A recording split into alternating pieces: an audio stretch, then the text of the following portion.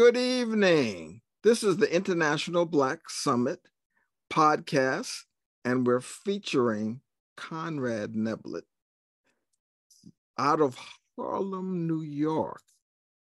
Conrad is an IBS facilitator, entrepreneur, artist, teacher, student of transformational spiritual thought. He's a producer of some events. We're going to talk a little bit about those uh, dance parties that uh, he's been uh, doing. He's a graphic designer. He is a singer, actor, a, a great singer. Okay, just just so you know, and uh, actor, songwriter, poet, community activist, coach, and caretaker. So tonight uh, we're gonna, and it's his birthday. So we've got several things that are going on simultaneously. So um, without any further ado, let me add you to the spotlight. Welcome, Conrad. Good to see you. Good to be here. Yes, it is. Yes, it is. It's good to be good to be seen, as yes. they say.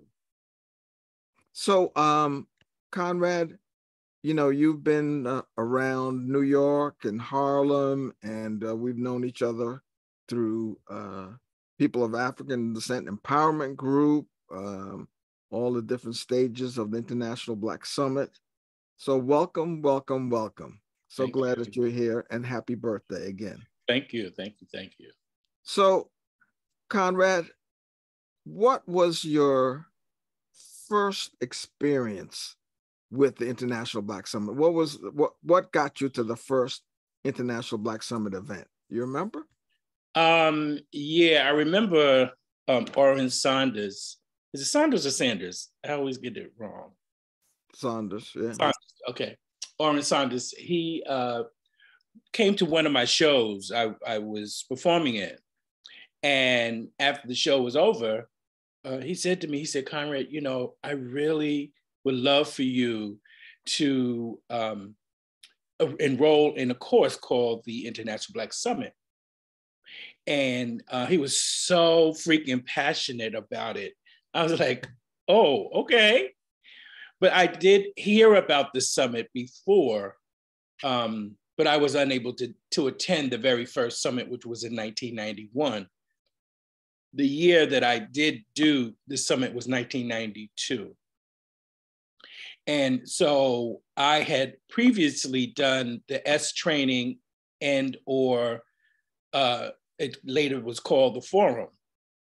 So I was familiar with the International Black Summit with people, Black people, people of Black African descent who wanted to uh, bring this transformational consciousness or thought to the black community, like to really, really do that. And so um, that was an attraction to me because it seemed as though it's something that I was looking for and like Orrin spoke and it's like, well, how did you know kind of thing, right? Mm-hmm. So mm-hmm. that's how I um, got introduced to it. And uh, and and what and what would you now you said a little bit about that that there was the timing was was right. So what were you looking for at, at that time? What what what was that connection that you were looking for? Well, um, it just really was a continuation of me really being a commitment to the empowerment of, of Black people, of okay. the Black community.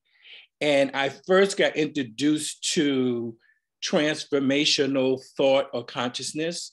I first got introduced I thought at one point it, I first got introduced by taking the est training, which is Landmark Associates, I think it's called now, uh, in 1980 is when I took the est training. But I really got introduced introduced this thought, this different way of looking at life from National Black Theater.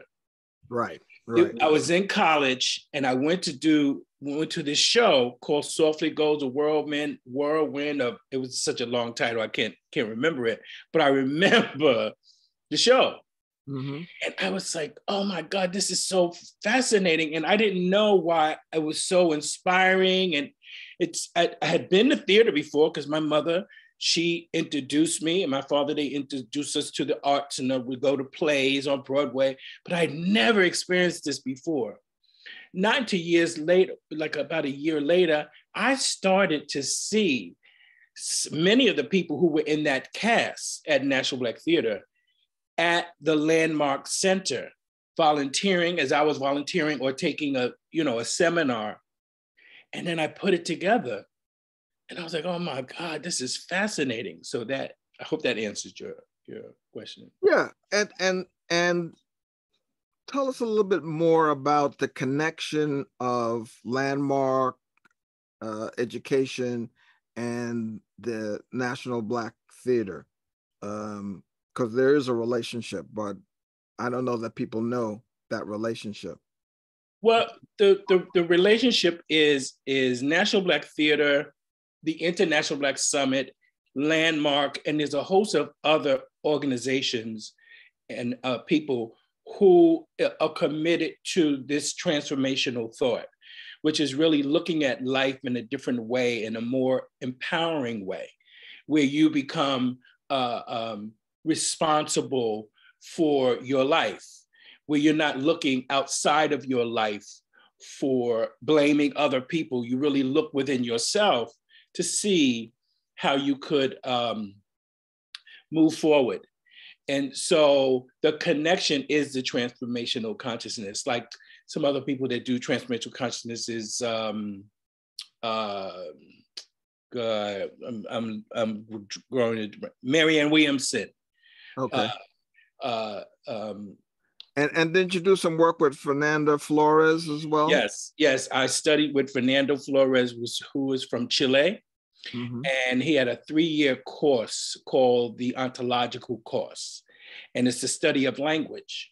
And so I mm-hmm. studied with him for three, about three or four years, and um, um, there's other people like, um, oh my God, uh, help me out, Glenn. Some other people that do transformational. Well, well, you did some work with at the National Black Theater with Barbara Ann Teer, who. Had- oh right, right. Thanks, thanks for leading, because because yeah, and Barbara Ann Teer had a course called the Teer Technology of Soul, and this was ontological an ontological approach to what is it to be a powerful black person to really look at the all aspects of black you know you being you know we have been colored we have been negro you know and there's there's just we're militant we you nigga i mean you know and some folks make cringe and saying nigga but it is a part of our experience because that's what we have been called.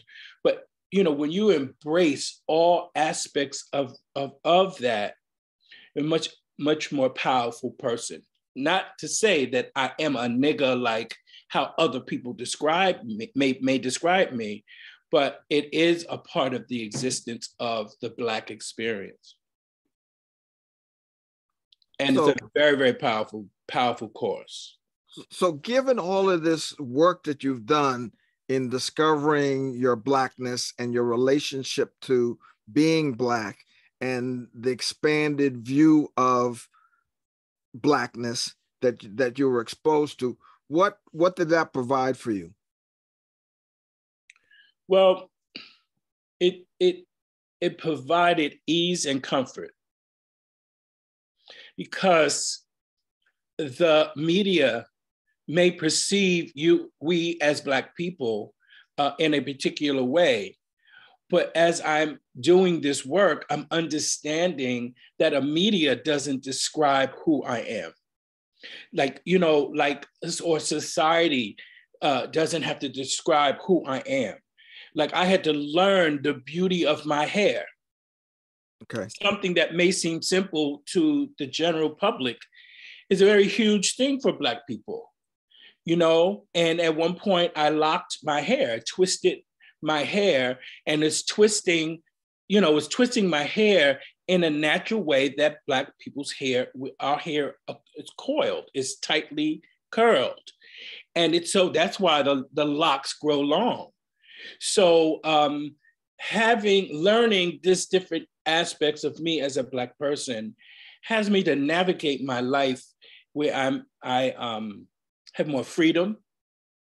Um, I'm not better than anyone else. Black people are not better than anyone else, and yet the joy of appreciating how our music is, how our you know how we have created out of adversity. We have created extraordinary music. You know, we have created soul music, jazz music, blues, go- gospel, house music. Uh, I mean, it just goes on and on and on. Uh, uh, rock and roll, um, country music. To be honest with you, um, like all of that, it that learning these things, and it's been a journey of learning.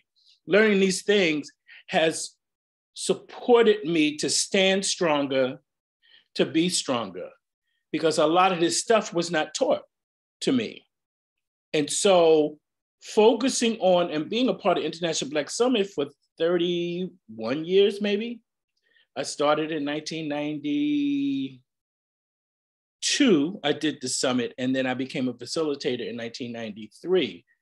And it's the focus has been what is it to be Black?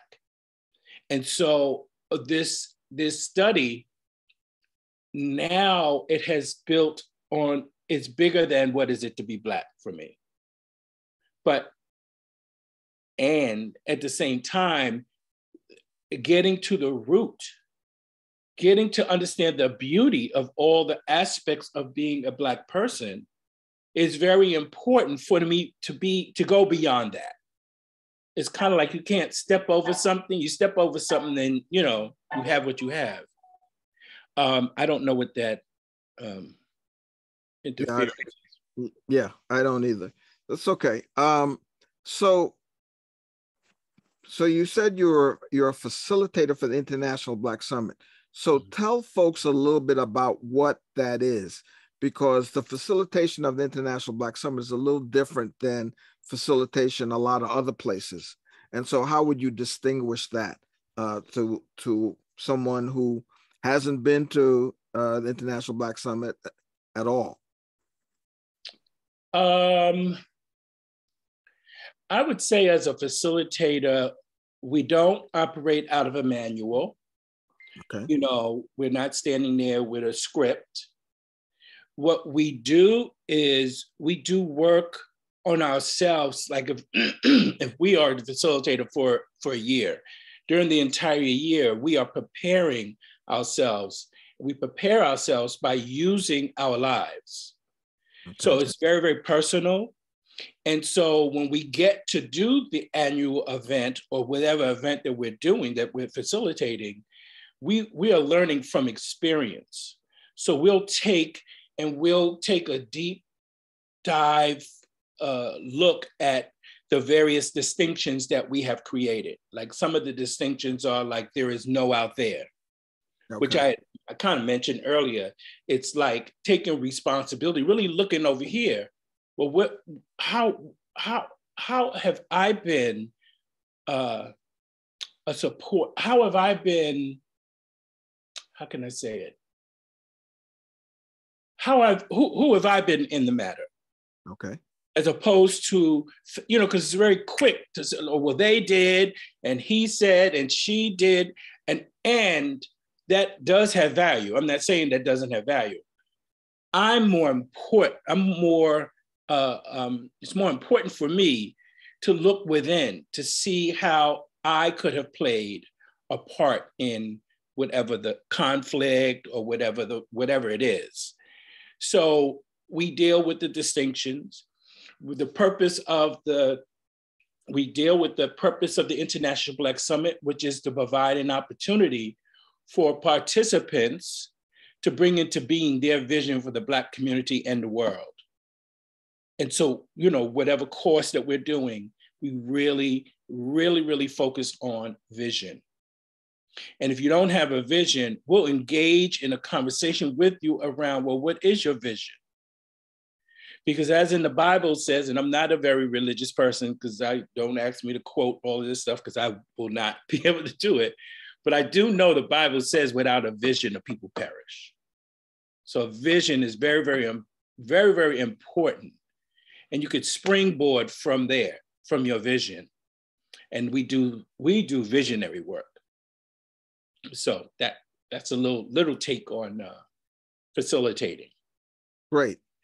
So you mentioned distinctions, mm-hmm. and distinctions are part of the tools that the International Summit uses, and the facilitators of International Black Summit obviously use that to demonstrate or to elongate or to, you know, highlight um, areas for us to do that that introspective work that you talked about. Mm-hmm. Um, what what's what's what's your favorite distinction? What's the, one of the distinctions that you use in your life quite a bit? Because you, you you talked about using this work as you discover, as you develop, as you look at um, being more productive, being more creative, um, expanding your looking. So what what what would be some of the distinctions that you use inside of that context? Well, I'll give you one. One that comes to mind is clearing. Clearing. Okay. Like clearing is a space, and also clearing is an action. So, um, um, like we are in a particular clearing, which is the International Black Summit. That's considered a clearing. Or you have um, uh, you have another organization that is a particular clearing. Um, Church. right. Is is another clearing. Right. Right. School. right. Right. Thank you. Um, and th- but the other part of clearing is, which is very very powerful, is I know oftentimes what we do in the summit is that we clear to be present. And clearing is an opportunity to like if we're approaching uh, a meeting and the meeting starts at 8 p.m like it's you you have an opportunity to um, get all the muck and the mire out of the way. The stuff that's going on during the day that you know it's because a lot of stuff happens during your day.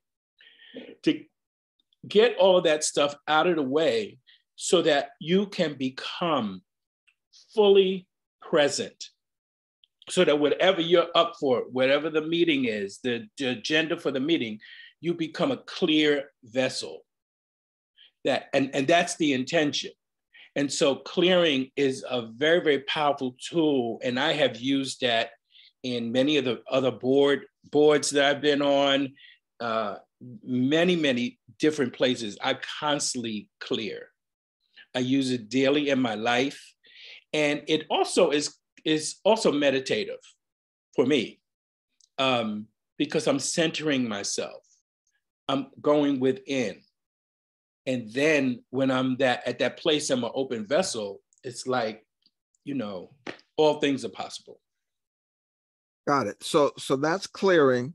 Mm-hmm. Um, any other distinctions that that you would say that are your favorite or you use quite a bit? Um, bump bump up against. Okay. Um, bump up against is when bump up against and trigger is another distinction. Okay. When I'm in a situation and someone says something and it just takes me off my you know, my off, center. Off your game. Off my game. I can get triggered. I'll, I'll use this. Will Smith got triggered at the Oscars. He was out of sort. He, I mean, I don't know what he was bumping up against, but he was bumping up against something because he was not present he was in that whatever that trigger was that anger that rage and the the value of trigger and bump noticing the trigger and the bumping up against is that you have better facility to interact in life. So he did not have any facility. He was he was in it. He he was just so far in his trigger, and he went up, and we know that he slapped uh, the brother, and then he came back off, and then he was like even like even more. He was like, don't do this. Talk about my wife like that." Having the skill of observing your trigger could support you to stop mid stop immediately and not get up on that stage and go to slap that brother if he was conscious of his trigger. So being conscious of a trigger is very very powerful. And the more that um, i have learned uh, being uh, cognizant of my trigger the uh, more I can, you know, um, be of service. Because I'm not in my mind or my anger, I'm in spirit and I'm centered. So that that's the, the two that go hand in hand. Great, great. So I, I just want to let our listeners know. So we in the International Black Summit, we use different words. And these are English language words that sometimes have other meanings but inside of the summit, we use these words clearing, trigger, bumping up against these distinctions. We use them to keep ourselves present. So so that we're not out of our mind or doing something crazy that we want that we'll later regret. So it's an opportunity for us to kind of stop the action mid action and look at where we are and what we're up to. And is this really what we're committed to doing going forward? So and and there are a lot of other distinctions that are that are part of the international black summit but these are uh, a couple that uh, um, conrad was present to mm. and and i might also add that most of the work that we do is about keeping ourselves present, keeping ourselves focused and present. And Conrad talked about vision. You know, vision is one of, of very important aspects of the International Black Summit. Um, and it gives us purpose and it gives us action that's associated with that particular vision. And then we use the distinctions that we have to really keep ourselves on track because in life, myself as well, you know, I, I get off track. I may get triggered. I may hear something, somebody say something or do something that takes me out of my game, takes me off purpose, takes me out of my commitment. And so we use these distinctions to keep ourselves grounded and focused in the direction uh, inside of that commitment and purpose that we've generated and created for ourselves. And and Glenn, I just also want to add that um, as we are facilitated, we can facilitate like to hundreds of people, and we're in the front of the room and we're facilitating, and that trigger make a trigger may come up for me with something either how participant have participant has said something or something happens. You know, it could be like a, a wall falls down. That can create a trigger and you can get lost in the sauce. And, you know, but I have uh, learned to use that distinction to address, to notice that I'm triggered. And then once I notice it, that's when I have the facility to get back present to my purpose for facilitating you know, or when the wall falls down, like I will acknowledge, oh, everybody, that wall fall down. We all know it fell down. So let's just get that out of the way so that we can all become present. Because if I'm triggered, I'm sure if a wall falls down, everybody else is triggered or startled or whatever the thing that comes up for them. So it really, you know, it really is uh, creating the space of ease you know, and so people can hear. and be present to what we're up to. So I just wanted to, to um, add that. Well, that's good. And you also added noticing. Yes. So noticing is also another distinction. Would you yes. uh, expound on that a little bit for for our viewers, our listeners? Well, it, it it like the noticing, the bump up against, and the trigger all seems to go hand in hand. The powerful thing of that distinction is seeing, like like it's being conscious. Noticing is being conscious. And if you're not conscious of something, it could just things can just go right over your over your head.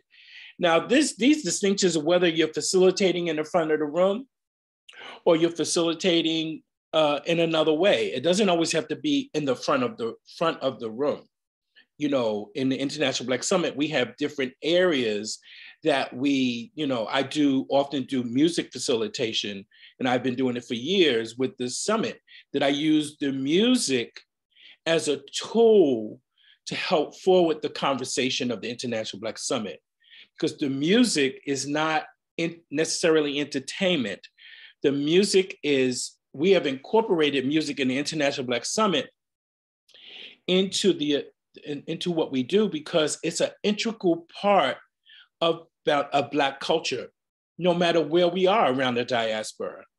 You know, you can go to Jamaica, you can go to Belize, you can go to London, you can go to, you know, South Carolina, you can go to, you know, Africa, you can go wherever music is an integral part of the diaspora uh, uh, tribe. I'll call it diaspora tribe.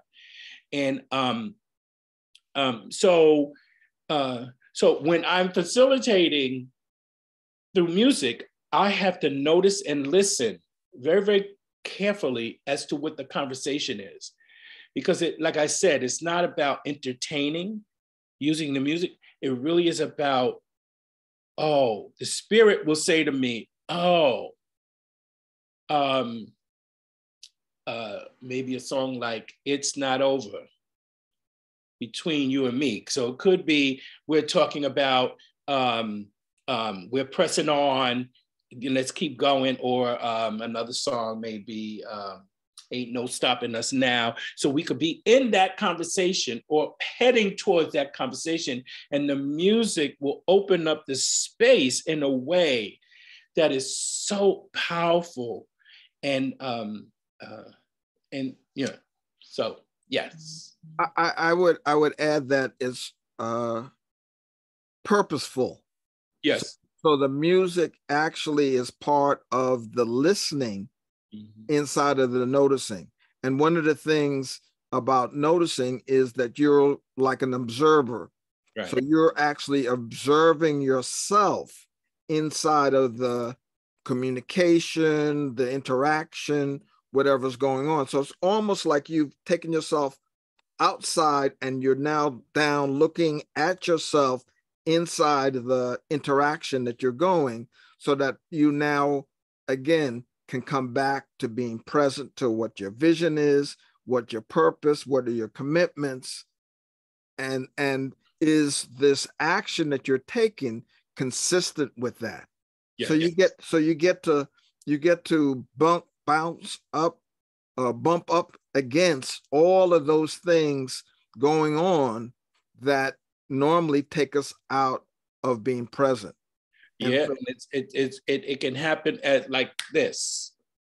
And, you know, so the doing the rigorous work of these various distinctions is very important because just like learn be new learned behavior, you got to keep at it and but the tools are very very powerful those distinctions are very very powerful but it doesn't come overnight you, you know it has to be some rigor and repetition and keep understanding and keep learning and keep you know uh ex, you know uh just keep at it.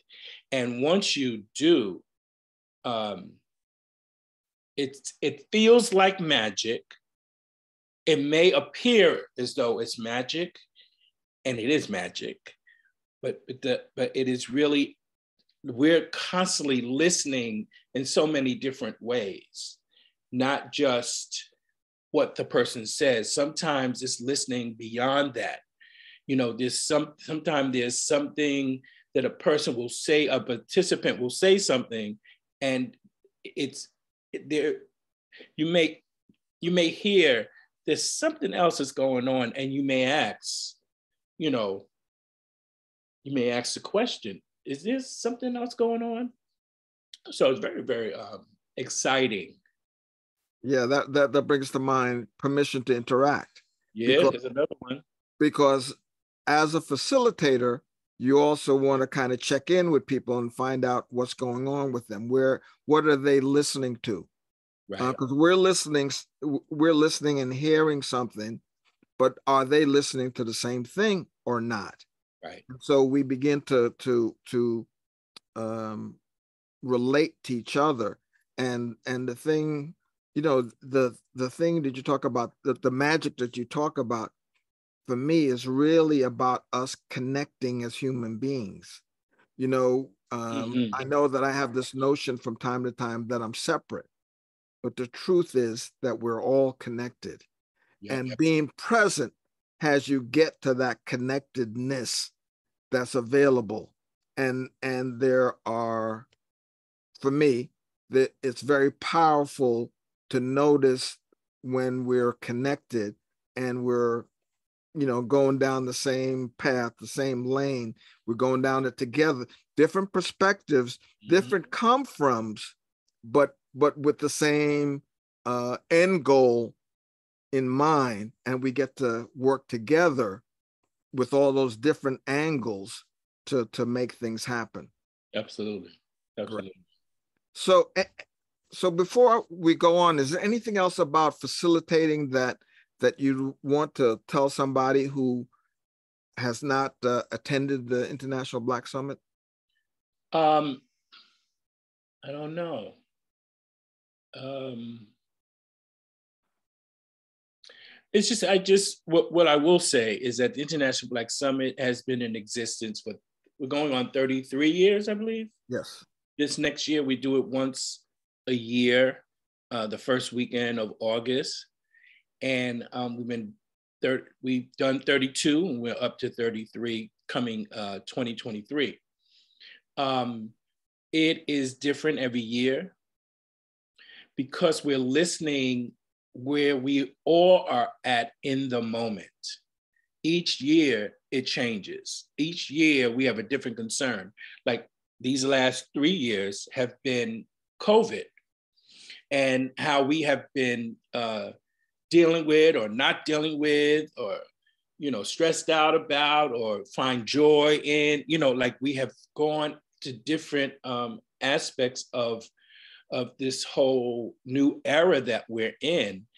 And so the summit is really an ongoing organic conversation really and it is um, sometimes you know people will come you know like i was i had done the summit in 1992. I was there like almost every year.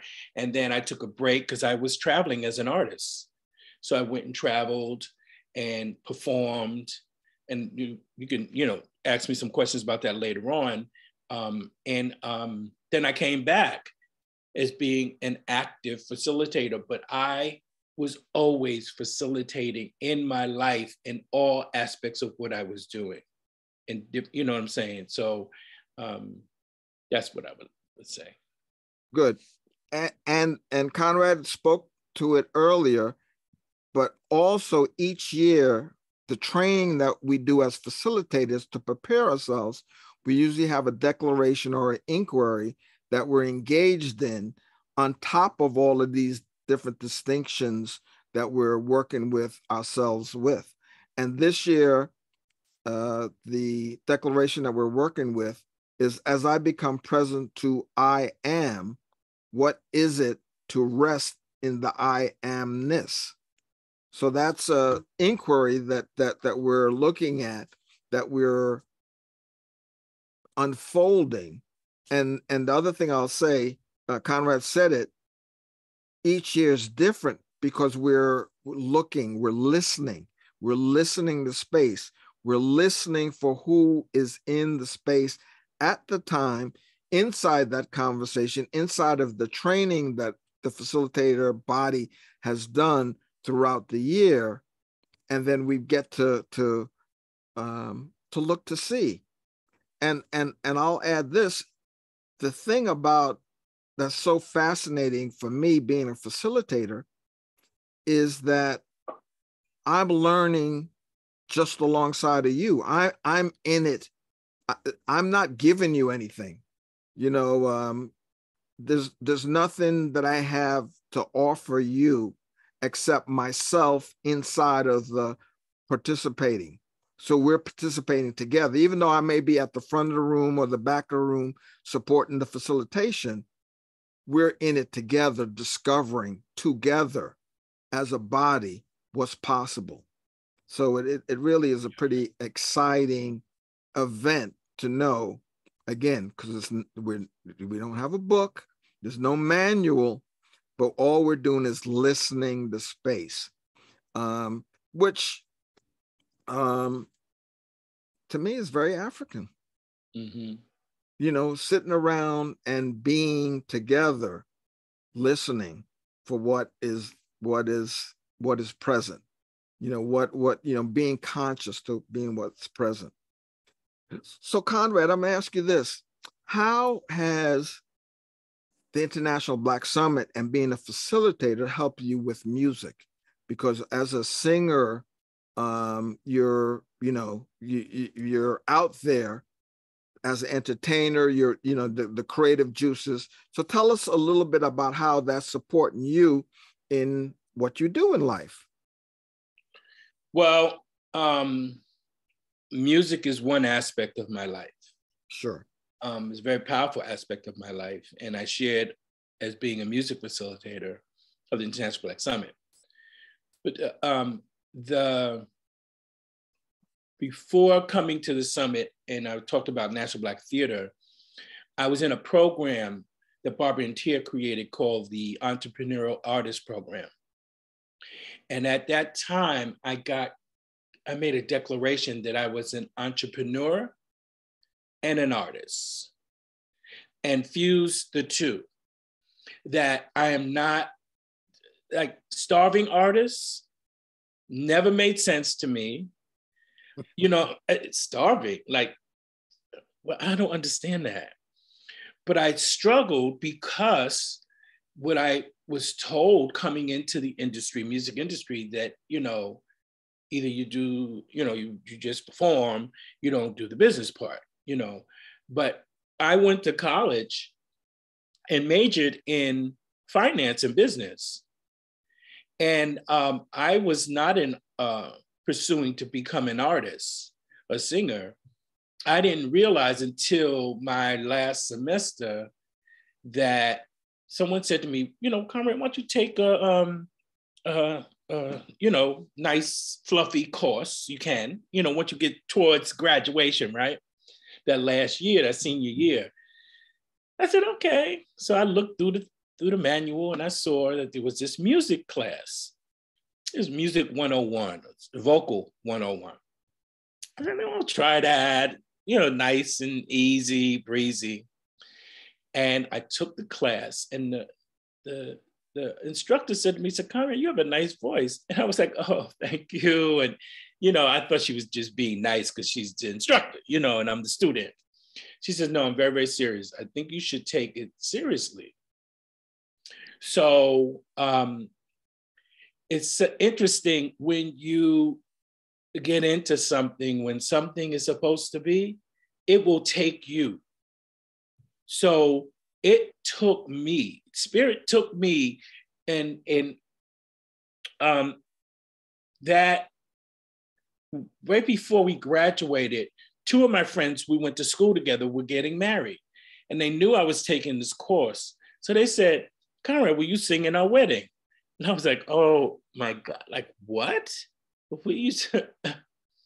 so I did. And the first song I ever sang publicly was uh, Unchained Melody.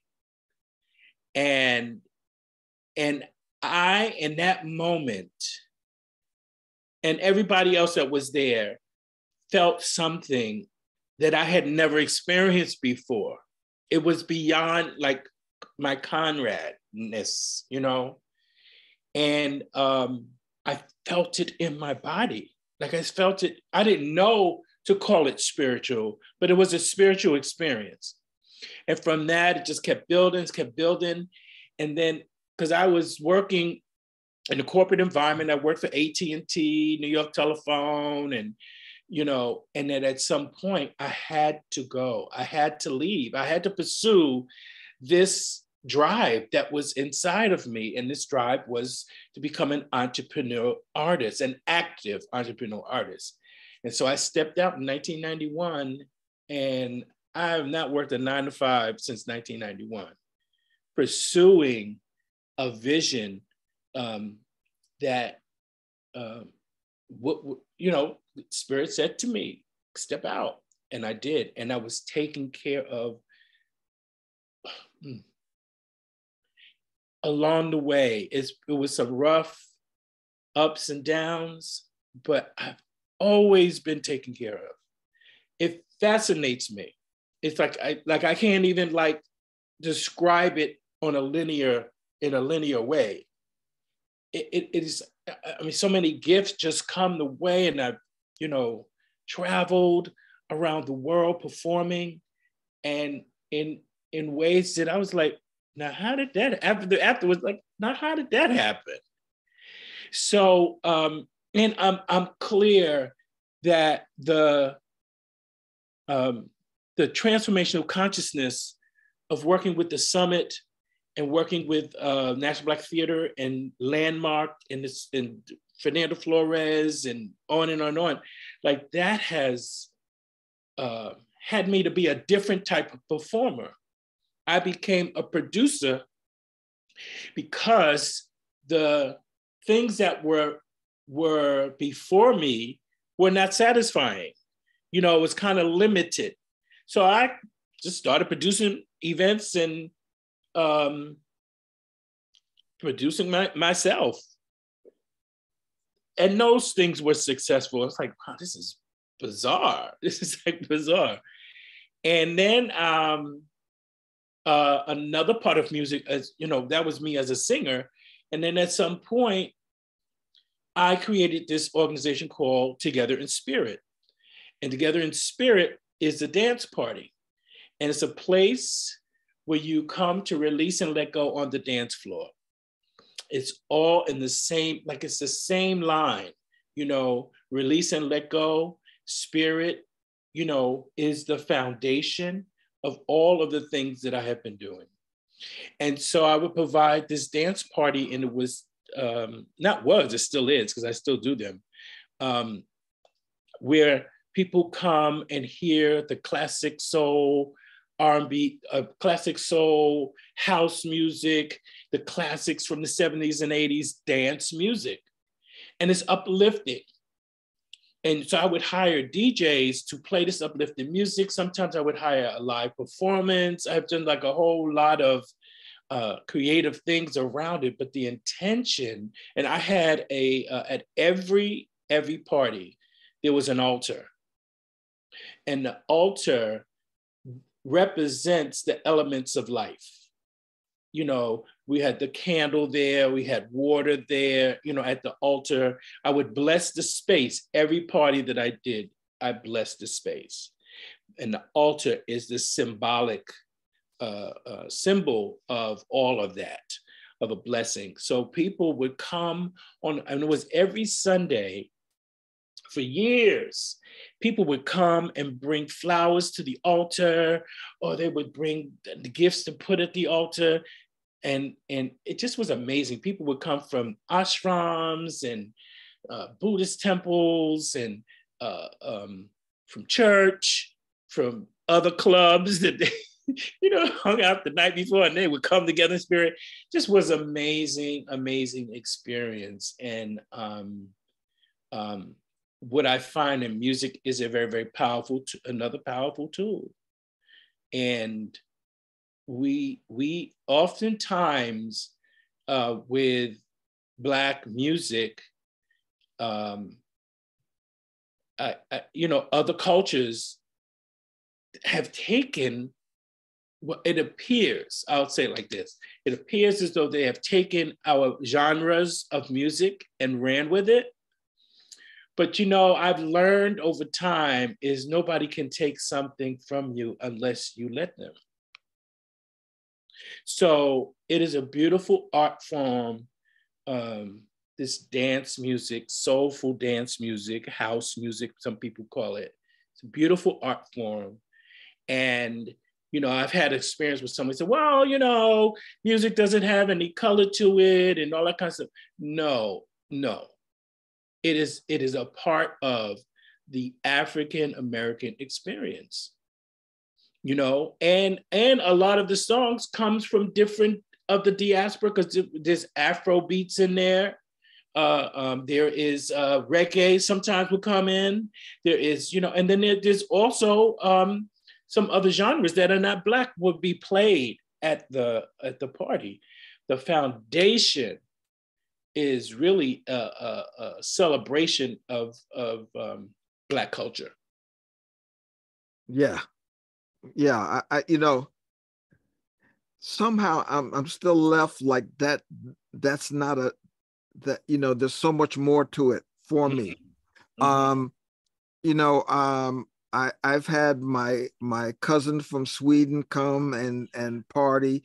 I've had birthday parties um, at, but but there's something. It's not just about the dancing. Right. It's the space that you provide that is vibrant, that is um, freeing, that is.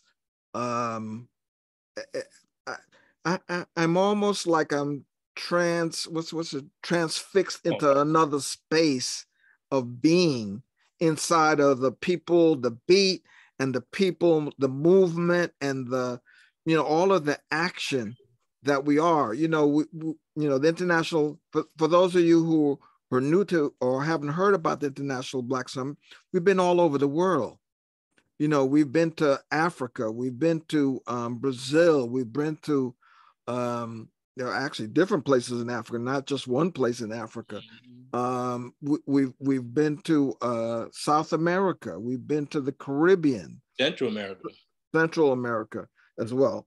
So, but there's something about that has me vibing. You know, I, I'm getting in touch with something that that is inert that that I may not even be present to.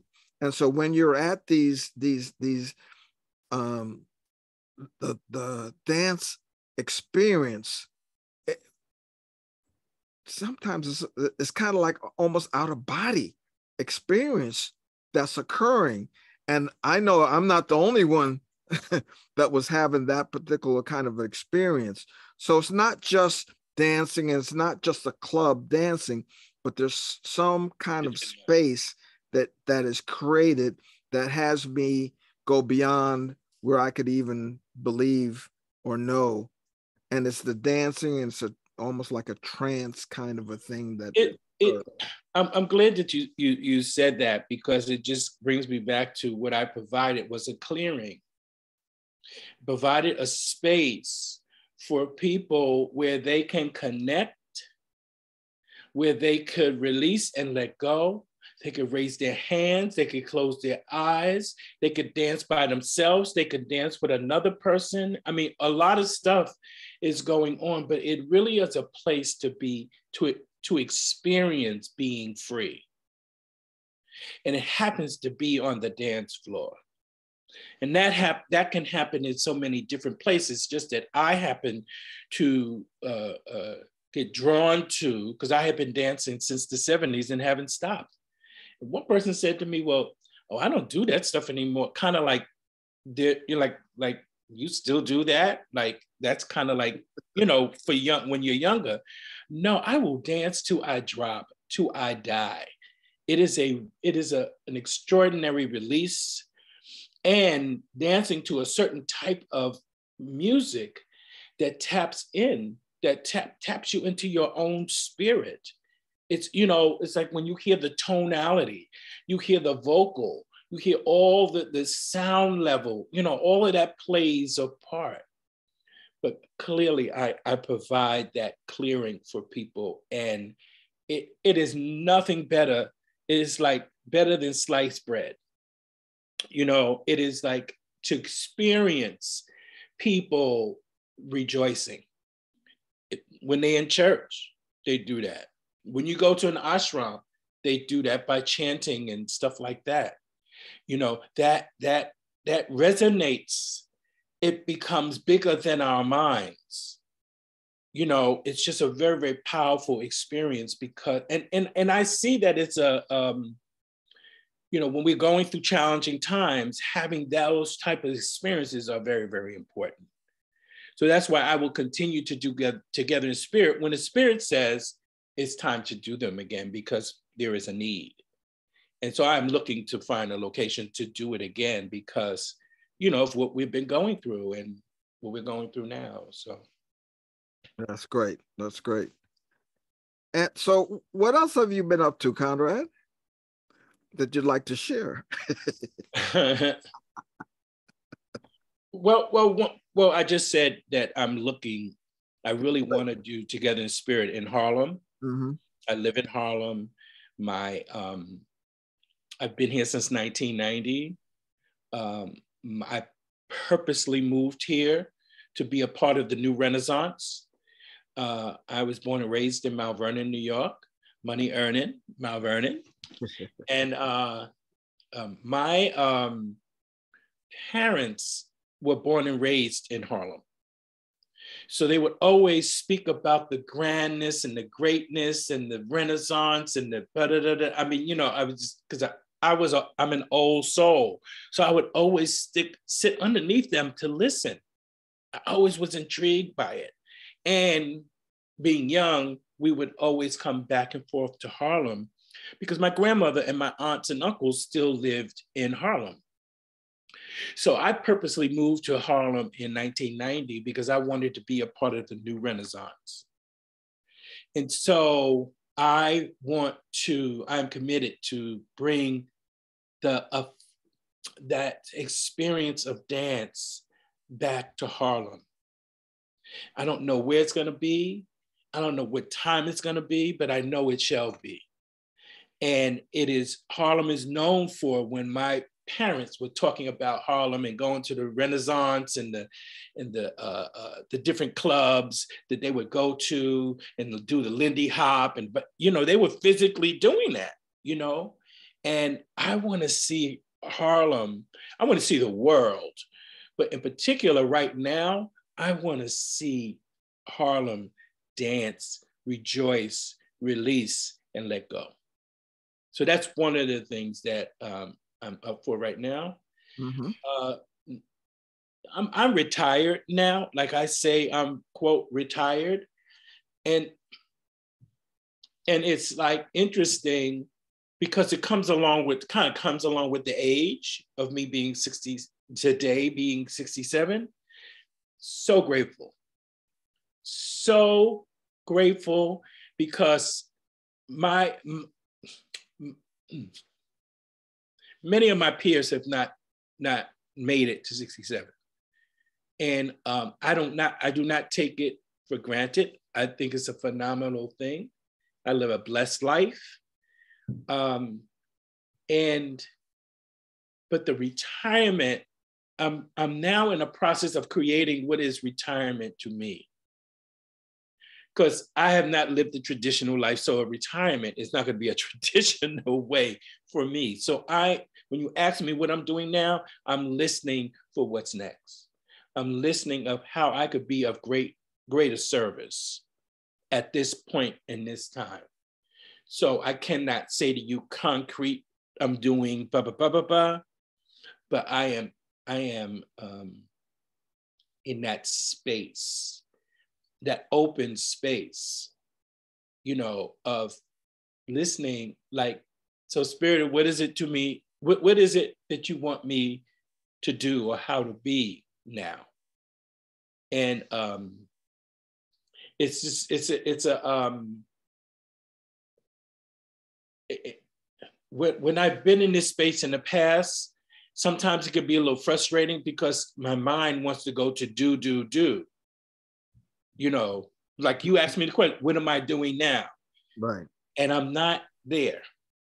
I'm in listening as a vessel, as a vehicle. What what what will you have me? How would you have me to be of great service to humanity, to my community, to the world? Excellent. Excellent.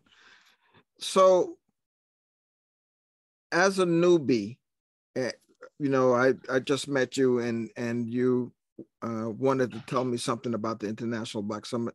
What what would you say to me?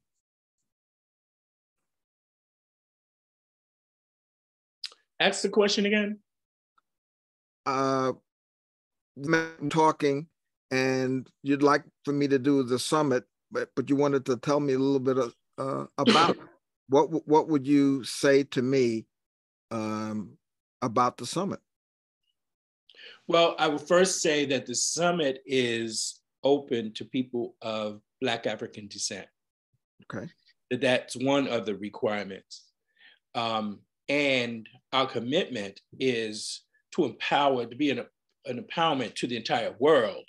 But this particular aspect of the summit, which is the annual summit event, is for people who identify being people of Black African descent.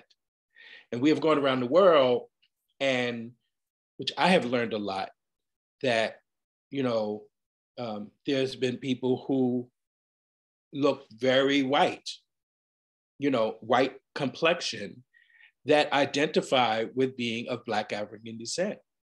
And it was a learning experience for me because I was like, well, no, you you white, you know, and then they shared their their, you know, experience and be like, got it. So who are we? Who am I to say that you uh, cannot be participant in the International Black Summit? But if you can, if you acknowledge and know that that is your part of your background, your culture, then we open we open our arms, you know, to you. Um, it is a conversation, um, and it's about the empowerment of uh, Black people around the world, like literally, um, and we gather together and we under we, we begin to understand our different cultures, our, our similarities, and our differences. So because you identify as a person of Black African descent doesn't mean that, you know, we all, like I'm, my father's uh, father was born in Barbados. My father was born in New York my my my uh, mother's father uh, mother was born in the South, and so I have both Caribbean and Southern influence in my life.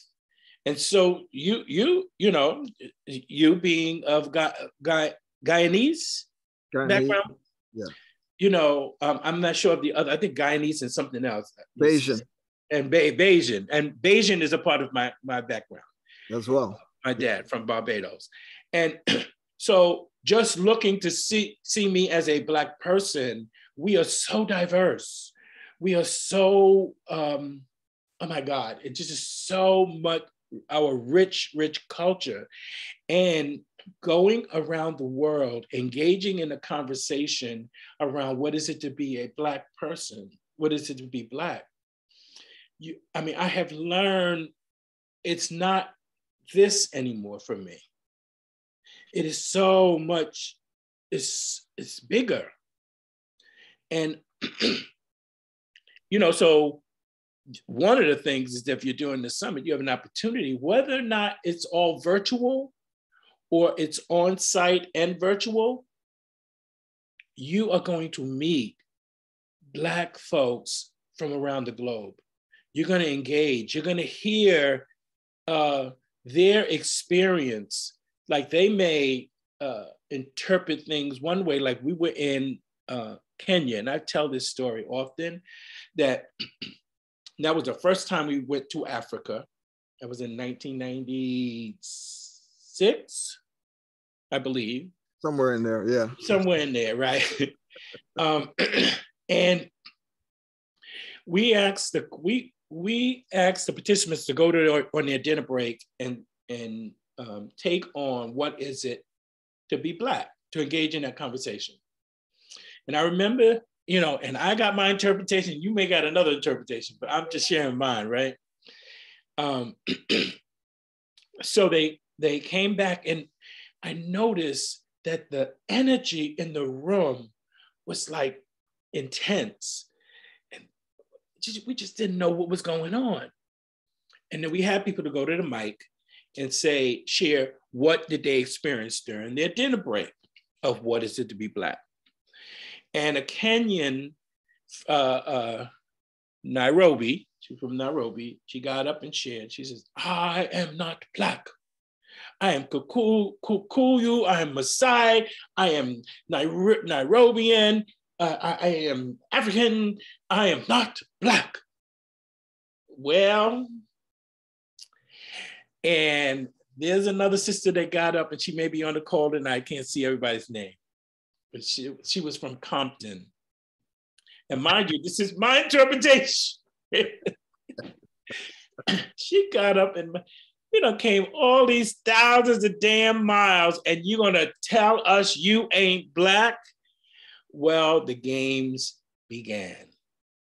And what showed up in the long run was we got to see how we are connected, but that we had differences. So in Kenya, there was no distinction black. They were all black. You know, they were all same color. Now they had some tribal stuff going on, um, but the distinction, what I really got clear, the distinction black was something that was created in the States uh, uh, uh, for us to, to, you know, to, to uh, experience our magnificence, our, you know, specialness, our uh, love for ourself and our culture. And I got, I, I, I didn't, before going to Kenya, I did not have that. I did not understand that. So traveling going to the summit in different places, the traveling will have you to connect with different people of Black African descent with different perspectives. But it is that, that through line that we have that connection around the world. And that is what is very fascinating to me, that we have that, that connection. But it takes a while to get to that. So I hope that answers your question. It does. It it it it, uh, it does. And uh, any, I, I'm going to read the declaration, and I want to just tell people a little bit about the some of the events that occur. Is there anything else that you'd like to say about your experience with the International Black Summit, either as a facilitator or a participant? Hmm.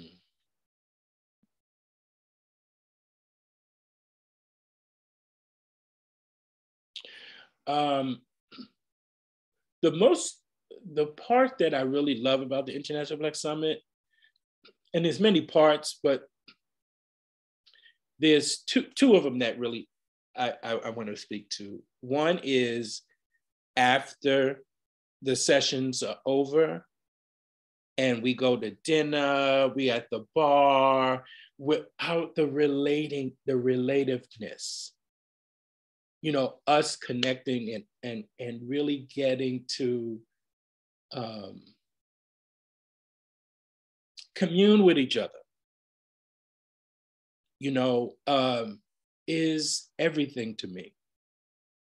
And you know during these three years of covid we've not had that physical communing and i miss really miss that and i'm grateful that we've had zoom to be able to connect in some way. And it's amazing what we have done in, in the midst of that. So that community connectiveness, and sometimes we'll start be at the bar on the piano we're singing, and but you know, it's just like, wow, how I miss that so so much. The other part is, um, and I'm starting to feel it, is when we do our spiritual uh, uh, I'm, I'm drawing a blank of what we we we call it is when the music facilitation does a Sunday spiritual uh, I'll say spiritual gathering right now. It's probably called something else, but I can't remember offhand. And we honor all religions and traditions, and we provide that space on early Sunday morning. And it is, it has been different every time. Like I remember there was one time when um, we somebody wanted us to do a choir. Mm-hmm. So we went, certain people volunteered, and within an hour, hour and a half the most, we created the most beautiful, harmonic experience. And then we had Reverend Bird with the word. Henrietta Bird did a sermon, or I don't want to call it a sermon because that would be limiting what she did. She took the declaration, which Glenn is about, which you're about to share, and she spoke the declaration, and then she brought in some spiritual aspects to it. Was it was art. It was spiritual art and then the music of how we, you know, layered and did the harmony. It was just like really, that was only one of them, one year. And every year is different, but that we take the time on part of the on part of the annual summit event that we take time to acknowledge spirituality is everything to me. I got it. It is it, it, it is an experience and and and it's all created in the moment. It's not uh, something linear. It's not something scripted. It is it is listening the space and generating you know self generation so i'm going to take a moment to share the declaration read it and we're going to come back conrad before to to close up. Mm-hmm. but i'm going to read the the declaration of the International Black Summit. The declaration of the International Black Summit. We declare ourselves, our community, and all communities whole and complete. There is nothing to do except be. We assert that we are responsible for generating community as possibility and distinction we listen for and grant being to the possibility and creation of unpredictable results. Our conversation of, about, and for those of African descent is one of power, self generation, abundance, responsibility, unity, and integrity with the possibility of being.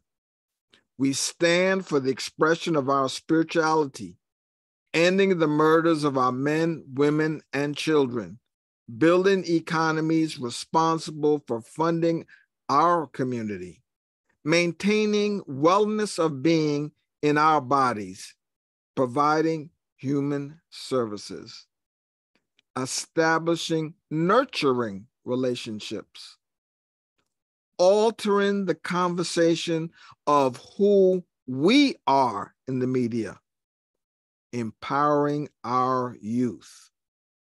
We declare that our community manifests itself in the world as a contribution in the transformation of the universe.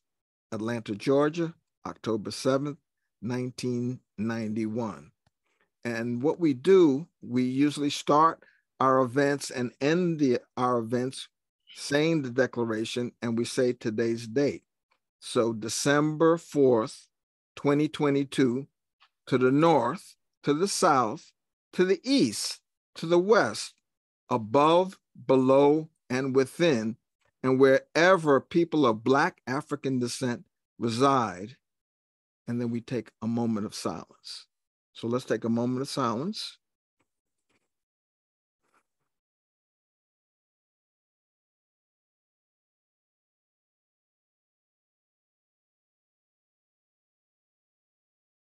Thank you. So in that moment, we get to get ourselves present, bring ourselves back to what we're up to. Um, as Conrad mentioned, we have an annual summit event the first full weekend in August. So that's the Friday, Saturday, and Sunday. We also have prerequisite programs. We have a community course that we do. And oh, by the way, we also we have a youth summit, which is from 8 to 17, ages 8 to 17. We have a young adult space from 19 to 35, and we have an adult space. So the uh, which is 18 up. So as a young adult, you can actually be part of that conversation or you could be in the adult space. And we do some different things in the young adult space because we one of the things that we learned eh, when we especially when we went to africa is that most africans consider your youth up until you're 35 and so we had to look at that and to and to and to see what they were pointing to in terms of your growth and development. There's still some things that you're trying to figure out, trying to work out your career, you know, being independent, being on your own, and so forth. So, so the young adult speaks to that space specifically. So we've got lots of things. Tonight is uh, the podcast that we do. We also have um, summit shares, and we have summit gatherings that we do on Sunday nights at 7:15 to 9 o'clock um, as part of our ongoing conversation, deepening distinctions, looking at different conversations that are attractive to people of Black African descent. So, um, Conrad, anything else for you before we end this wonderful session? Hmm. Let me see. Especially being that this is your birthday. My birthday. My birthday. um,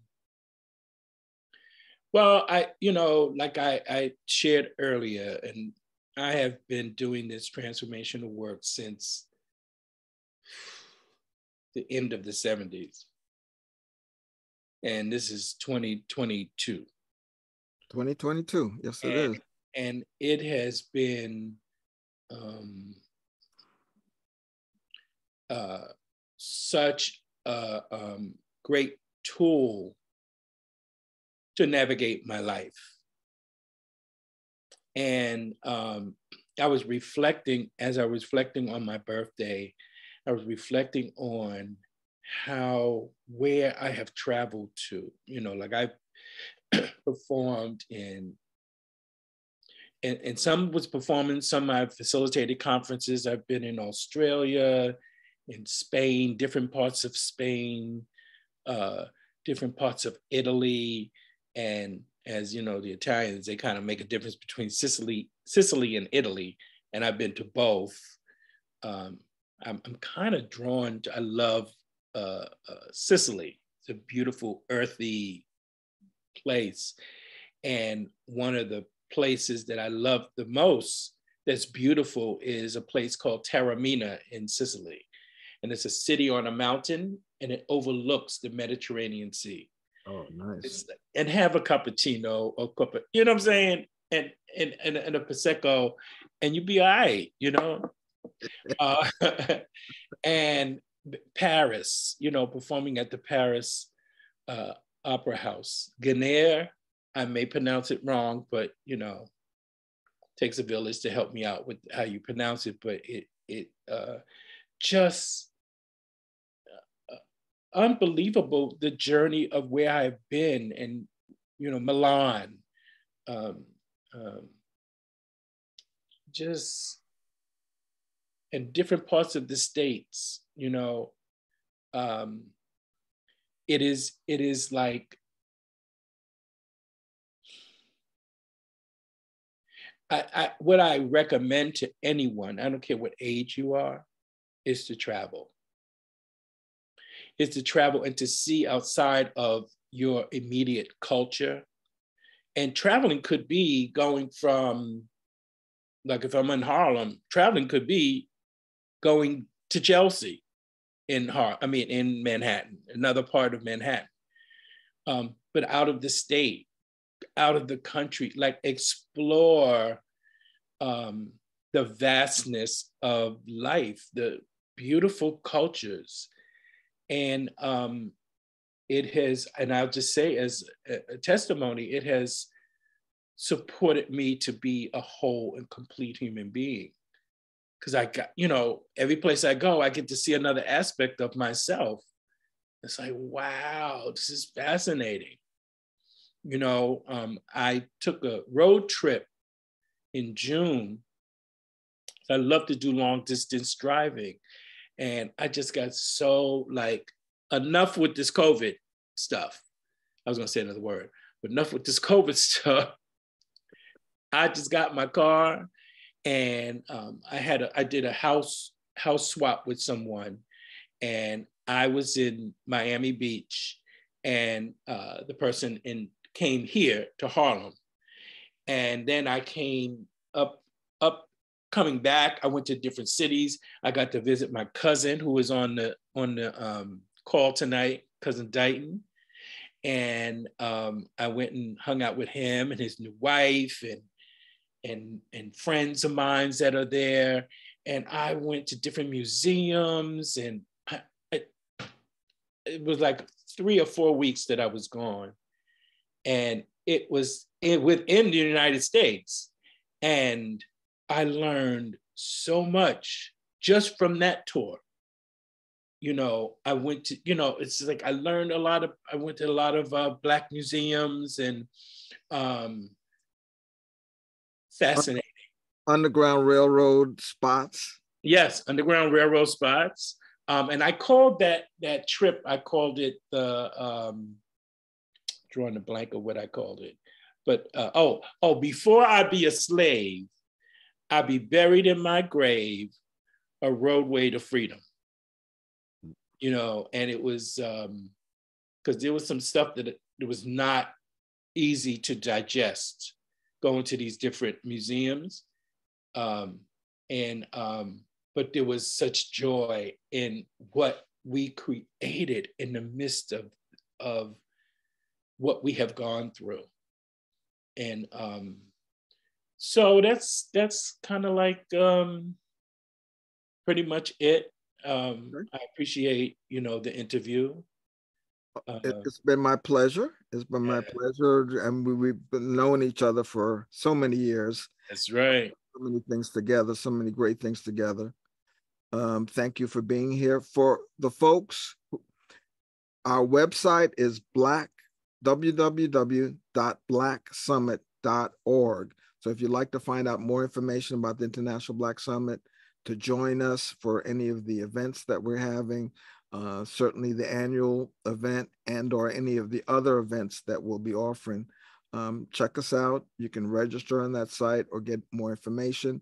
And the declaration that I read is available on that site as well. Again, www.blacksummit.org.